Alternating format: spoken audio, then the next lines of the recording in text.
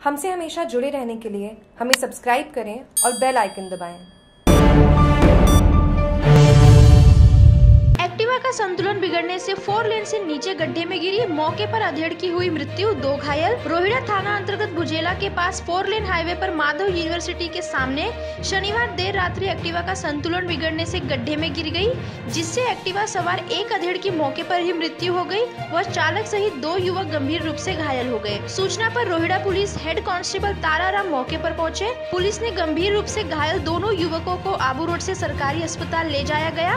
व मृतक के शव को रोहिड़ा अस्पताल की मोर्चरी में रखवाया। पुलिस के अनुसार जितेंद्र पुत्र अमृतलाल ब्राह्मीण, निवासी सरोत्रा गुजरात, हाल गांधीनगर आबू रोड ने रिपोर्ट देकर बताया कि आबू रोड निवासी उसके पिता अमृतलाल, तिरसठ पुत्र चेलाराम ब्राह्मण, गांधीनगर आबू रोड निवासी राजीव पुत्र नेनूराम मीणा व राहुल पुत्र कालूराम बजानिया एक्टिवा लेकर आबू रोड से स्वरूपगंज की ओर जा रहे थे कि एक्टिवा चालक राजीव मीणा ने तेज गति व लापरवाही पूर्वक एक्टिवा को चलाया, जिससे एक्टिवा का संतुलन बिगड़ने से फोर व्हील पर माधव यूनिवर्सिटी के सामने गड्ढे में गिर गई, जिससे एक्टिवा पर सवार तीनों जने गड्ढे में गिर गए, जिससे तीनों जने गंभीर रूप से घायल हो गए।